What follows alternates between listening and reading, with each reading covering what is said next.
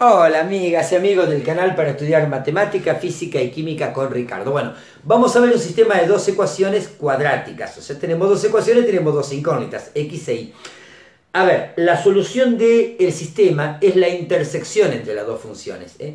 Aquellos puntos donde tanto la y y la x son iguales para ambas funciones. Bueno, eh, lo vamos a hacer en forma analítica, haciendo cuentas, haciendo cálculos, y también en forma gráfica, dibujando ¿eh? Ambas funciones y viendo dónde se cortan. Bueno, por supuesto que el método gráfico eh, no es eh, exacto, puede tener muchos errores y andás a ver si lo podemos hacer. Ahora yo voy a ver en el pizarrón, vos seguro que sí, en una hoja grande lo podrás hacer, yo tal vez en el pizarrón no me llegue a dar, pero bueno, vamos a hacer el intento. Y te voy a dejar también en el video al final, después del saludo, eh, las dos gráficas de las dos funciones hechas por computadora para que puedas ver y corregirlo y cotejarlo con lo que vos estás haciendo. Fíjate eh, cuando hacemos sistemas de ecuaciones, bueno, ¿qué es lo que decimos? La solución es la intersección en las funciones. O sea, cuando se intersectan las funciones, los valores de y y los de x son iguales, ¿no? En el punto donde se intersectan. Entonces nos vamos a plantear la igualación. Una función igual a la otra función. Bueno, a ver, la primera función es x cuadrado restado 8x sumado con 12 y tiene que ser igual a la otra función, que es 3x cuadrado menos 2x más 1. Bueno, ven que tenés x cuadrado y x, por eso te digo que te vas indefectiblemente a una ecuación cuadrática. Y la ecuación cuadrática tiene una estrategia de solución, que la tenés escrita acá. Una ecuación cuadrática tiene la forma a por x cuadrado más b por x más c igual a 0. Igual a 0, acordate eso. ¿eh? donde a puede ser un número positivo o negativo y es el que multiplica a x cuadrado. b no solamente puede ser positivo o negativo, b hasta puede valer 0. Y c también, el que no puede valer 0 es a porque si no, no es cuadrática, es una ecuación lineal. ¿eh? Bueno, en estas condiciones, ¿eh? si vos reconoces quién es a, quién es b quién es c, aplicar la fórmula resolvente, que es, te va a dar el valor de x que satisface la ecuación, ¿eh? que resuelve la ecuación es menos b más menos la raíz cuadrada del valor de b al cuadrado, menos 4 por el valor de a por el valor de c, todo dividido 2 por el valor de a. Bueno, a ver, ¿qué te parece si agrupamos todo en un solo miembro para que nos quede una ecuación cuadrática? A ver, que nos tiene que quedar igualada a 0, ¿no? Vamos a poner el 0 acá, vamos a escribir 3x cuadrado menos 2x más 1 y voy a empezar a pasar x cuadrado que está con signo más lo voy a pasar con signo menos al otro miembro. 8x que está con signo negativo lo paso con signo positivo al otro miembro. Y 12 que está con signo positivo lo paso con signo negativo al otro miembro. Bueno, a ver, pasemos el limpio. Con x cuadrado, ¿qué tenemos? 3x cuadrado menos 1x cuadrado da 2x cuadrado. ¿Ves? Ahí tenés el valor de a. a vale 2. 2 positivo vale a. a es 2, porque estoy cansado ya de ver cuando ponen a que ponen 2x cuadrado. No, A vale 2, no es 2x cuadrado. 2 vale A. Bueno, B es 8x con x, ¿no? 8x menos 2 me da positivo 6x. Quiere decir que B es un número positivo y vale 6. Y C es menos 12 más 1 que es menos 11. Bueno, ahí nos quedó nuestra ecuación cuadrática. Que nos quede claro que A vale 2, eh, B vale C, eh, B vale 6 y C vale menos 11. A vale 2, B vale 6, C vale menos 11. Bueno, calculemos X. X nos da menos B. A ver, menos el valor de B, menos 6. Más menos la raíz cuadrada. Del valor de B al cuadrado, 6 al cuadrado da 36. Y no importa el signo, pues si fuera negativo también daría 36. Todo número al cuadrado real da positivo. Bueno, 36. Luego tenemos menos 4 por el valor de A y por el valor de C. Fíjate, menos 4 por el valor de A por el valor de C vas a hacer menos 4 por 2, que te da menos 8, y por menos 11. Ya ahí menos por menos te da más. Y 11 por 8 te da 88, ¿no? 88. 11 por 8, 88. Todo dividido, 2 por el valor de A, que es 2 por 2, 4, ¿no?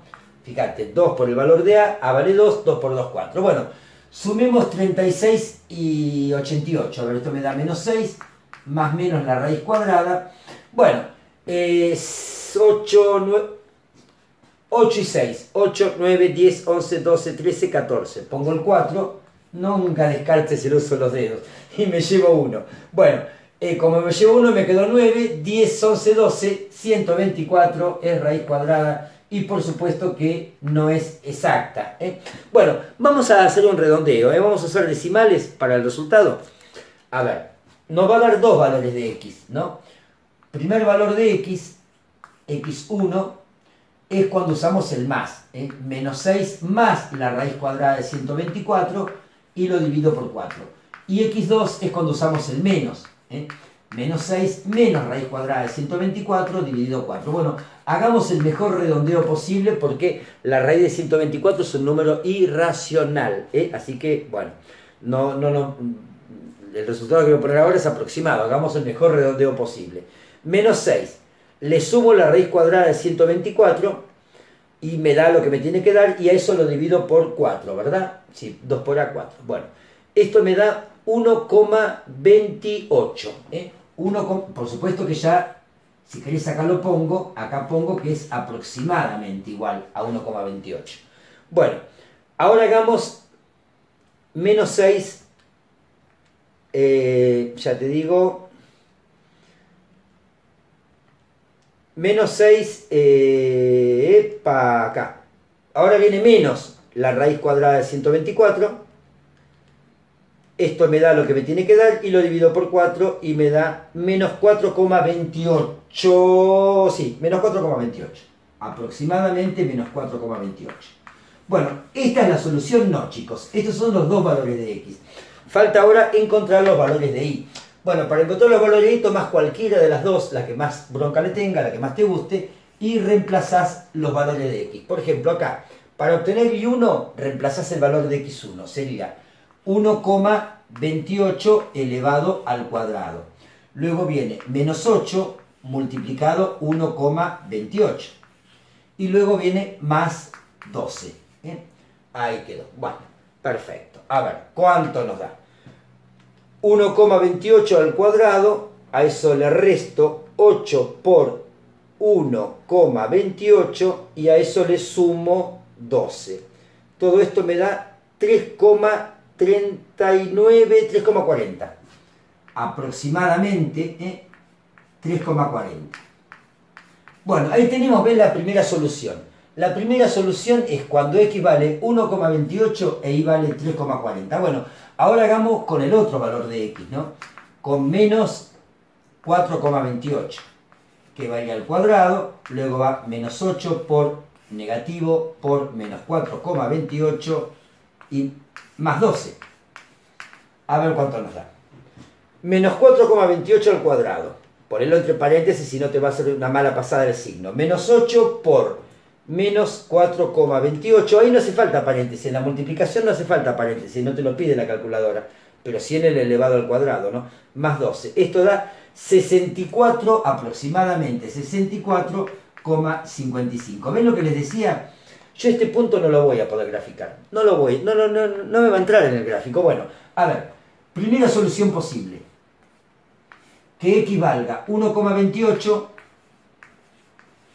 y que y valga 3,40. Esa solución la vamos a poder ver en la gráfica.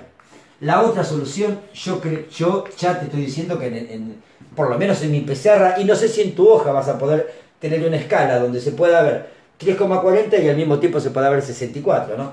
Bueno, la segunda solución es menos 4,28 de x y de y cuánto? 64,55. Ya te diría que no vamos a poder ver gráficamente la solución. ¿eh?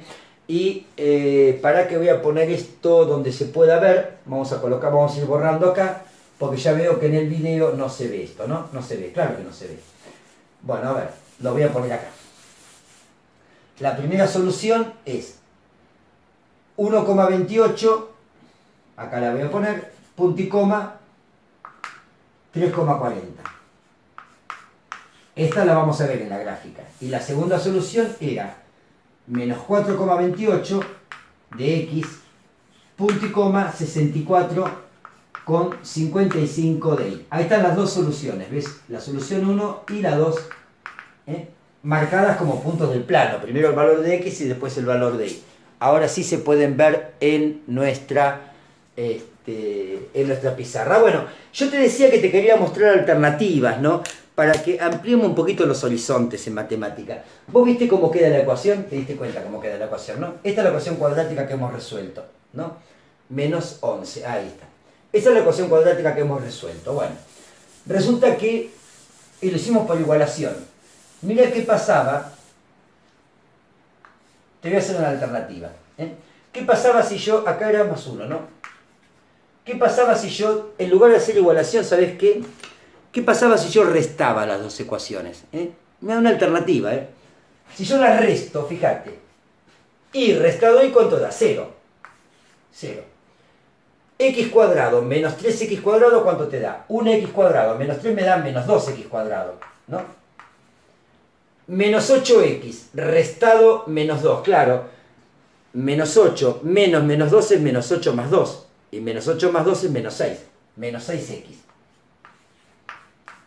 Y eh, 12 restado 1, ¿cuánto te da? Positivo 11.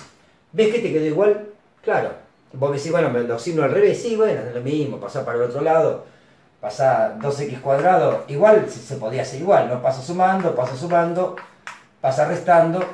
Y ahí quedó eh, exactamente lo mismo. Fíjate que la igualación no es el único método que hay, y la sustitución tampoco. ¿eh? También vale esto de sumar o restar ecuaciones, sumar o restar para que se te anule una y o se te anule una x. Bueno, gente linda, vamos a verlo ahora gráficamente.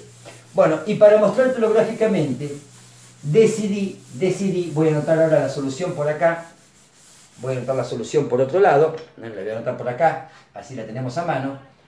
Una solución es que x valga 1,28 porque también voy a borrar eso que está ahí, y 3,40. Eh, ahí están los valores de x y de y. La segunda solución es menos 4,28 punto y coma. Ese es el valor de x, ¿no? 64,55. Bueno, ¿y sabéis qué decidí? Hacer la gráfica, viste que son dos gráficas, ¿no? Una te la voy a hacer sin tabla de valores y la otra te la voy a hacer con tabla de valores para que veas las distintas alternativas de hacer una gráfica. Bueno, vamos a prepararnos a hacer una gráfica. Vamos a dibujarla acá.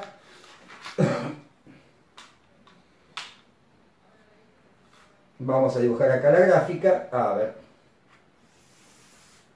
Acá está el eje X. Acá está el eje Y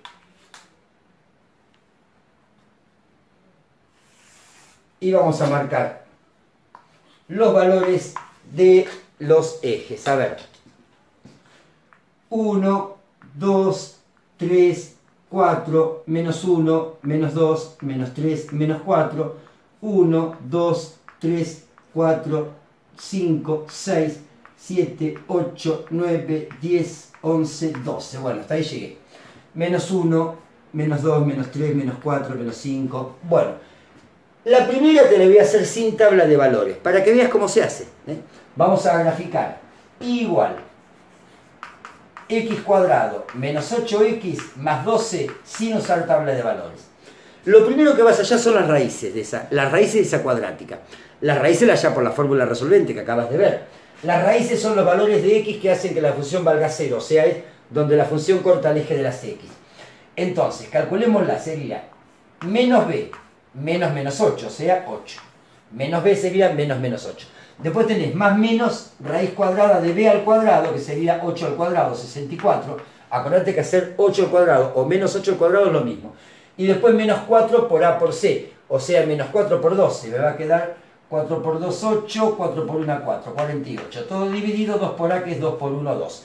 Bueno, ahí tenemos, fíjate, las raíces, o sea, donde la función primera corta el eje de la x. Bueno, hagamos 64 restado 48, eso me da 16, su raíz cuadrada es 4, o sea que nos queda 8 más menos 4 dividido 2. Y acá salen las dos raíces, eh, la primera y la segunda. Bueno, a ver, 8 más 4 da 12, dividido 2 da 6. Hasta acá teníamos dibujado 1, 2, 3, 4.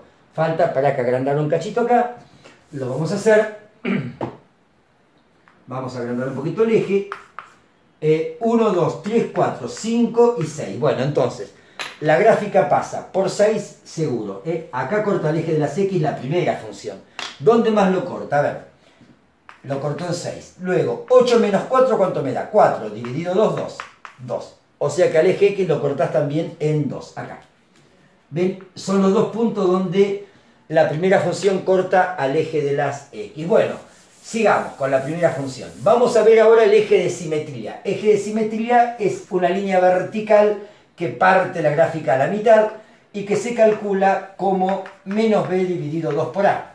Bueno, si yo hago menos b dividido por a, hago menos menos 8. Dividido 2 por 1, 2. ¿no?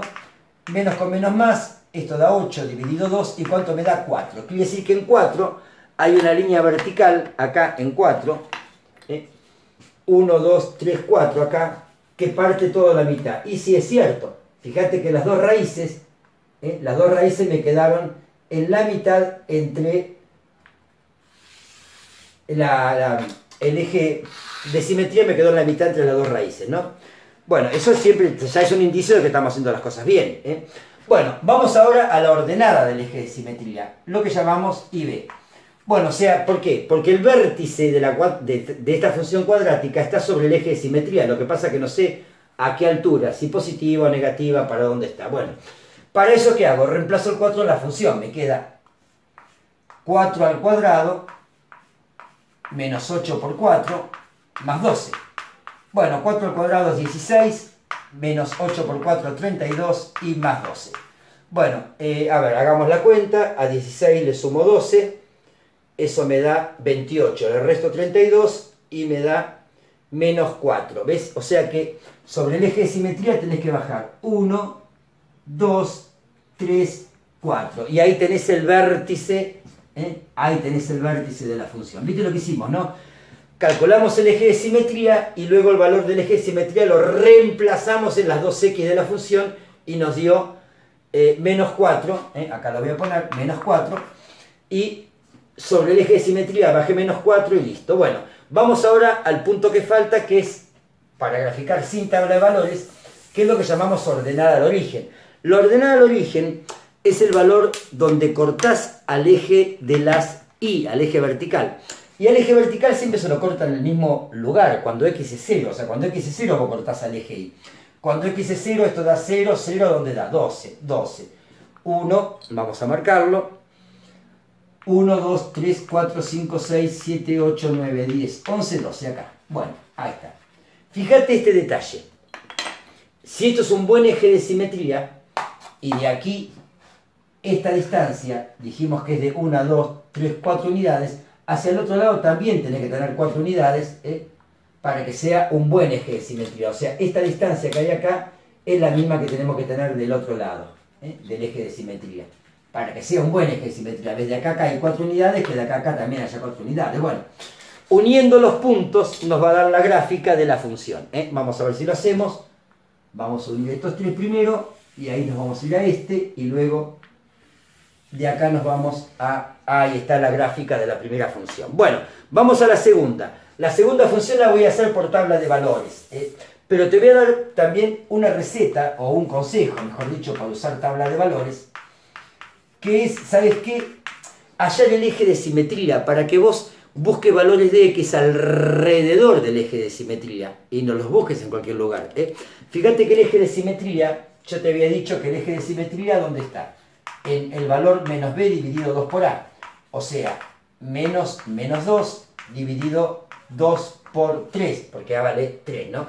Bueno, eh, acá 2 con 2 se cancela, menos con menos eh, se cancela, esto da menos con menos más, ¿no? Da un tercio. Un tercio es 0,33.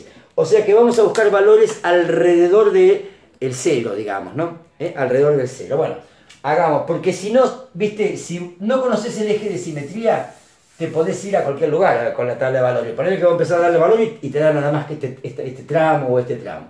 Alrededor del 0. Bueno, vamos a hacer una tabla de valores. Alrededor del 0, qué sé yo, tomemos menos 2, menos 1, 0, 1 y 2. ¿eh? Bueno, agarrás la calculadora y empecemos a cargar. Para menos 2 es 3 por paréntesis, menos 2, cierro paréntesis, lo elevo al cuadrado, menos 2 por menos 2, y a eso le sumo 1. ¿Cuánto me da? 17. Para menos 2, 17, fíjate que no lo voy a poder dibujar yo. Para menos 1. Ahora voy a repetir el proceso con menos 1. O sea, haces 3 por menos 1 al cuadrado, ¿eh? 3 por menos 1 al cuadrado, menos 2 por menos 1, ¿eh? más 1. Esto me da 6. Este sí lo voy a marcar, ¿ves? Para menos 1 da 6. O sea que acá, para menos 1, vamos a buscar 1, 2, 3, 4, 5, 6. Acá está el 6.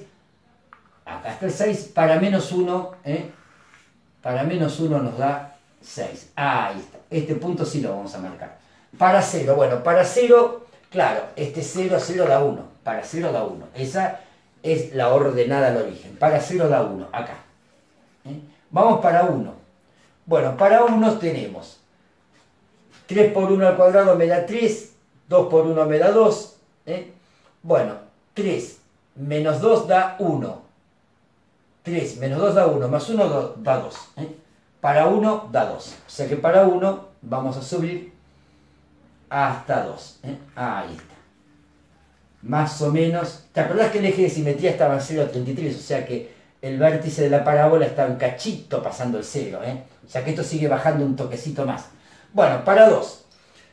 Eh, sería 3 por 2 al cuadrado. 2 al cuadrado es 4. Así que hago 3 por 4 menos 2 por 2 que es 4 también. ¿eh? Eh, más 1. Y para menos 2 me da, para 2 me da 9. O sea que para 2 voy a subir 9. Para 2 me voy a ir bien hasta allá arriba, para 2. ¿eh? Y voy a ver, acá es 12, 11, 10, 9. Acá. Bueno, mirá lo que es la gráfica, ¿no? Realmente intratable es la gráfica, ¿no? Intratable. Bueno, a ver. Eh, ¿Qué te puedo mostrar en la gráfica? Bueno, en la gráfica te puedo mostrar esto. Que acá se cortan, ¿ves? Acá se cortan. Por lo menos un punto te puedo mostrar. Fíjate dónde se cortan. Más o menos. Cuando x más o menos, ¿ves? Acá, si lo bajamos, ves que x vale más o menos lo que habíamos anticipado, 1,28. ¿Y cuánto vale la i? La i vale, fíjate, 1, 2, 3, 4 me da mí, ¿ves? ¿Ves? a, mí, a mí se me fue, porque claro, pero no está hecho escala, ¿eh? Pero ese es el valor de ahí donde se corta. La x nos dio más o menos bien en este gráfico, pero la y no. La y debió haber dado 1, 2, 3 con 40, debió haber dado un poquito más abajo. Por eso te digo, bueno, igual eh, a mí no me preocupa que no me dé porque yo no uso ningún tipo de escala. Fíjate que las distancias no son iguales entre los puntos, ¿no? Pero bueno, vos hacerlo lo más prolijo posible. Ahora, este punto, chicos, es intratable. Hay que ir a buscarlo allá arriba. Fíjate que ahora te dejo la gráfica hecha por computadora y vas a ver que tampoco en el gráfico hecho por computadora pude hacer entrar eh, el la segunda intersección. Porque hay mucha diferencia. Si en la escala aparece el 3,40, no, en la misma escala muy complicado que en la misma escala te entre eh, 64,55 y 3,40. Bueno, de todas maneras, eh, ahí al, final del saludo te dejo la gráfica hecha por computadora. Bueno, espero que este video haya sido útil. Prohibido quedarse con dudas. ¿eh? Prohibido ¿por qué? Porque yo te contesto todo. Me mandas un WhatsApp, te lo contesto. Me mandas Instagram, te contesto. Me mandas eh, este, Messenger, te contesto. Así que no te, puedes, no te puedes quedar con dudas. Ricardo, ¿por qué hiciste esto? Ricardo, ¿por qué hiciste aquello? Ricardo, explícame esto de otra manera, así no lo entiendo, y juntos podemos construir cosas muy buenas para que vos afiances más tus conocimientos en matemática, en física y en química. ¿Sabes cuándo nos vemos? En el próximo video. Cuando vos lo pidas, cuando lo necesites, pedime los videos que necesites. ¿eh? Y en ese video nos vamos a ver. Chau, chau.